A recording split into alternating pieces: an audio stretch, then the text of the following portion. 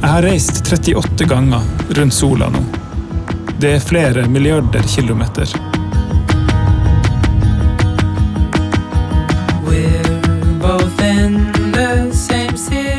Fem. Og jeg gjetter ikke på fingre.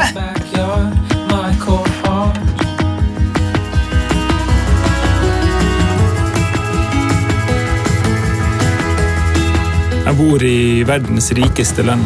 Det er få reelle bekymringer, men det er også langt mellom de store følelsene.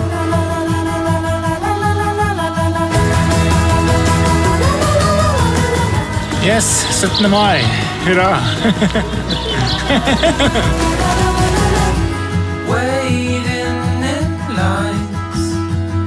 Jeg er allerede eldre enn Kurt Cobain og prinsesse Diana.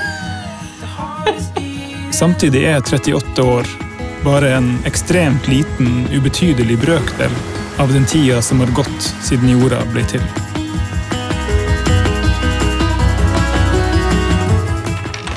Slutt å tro.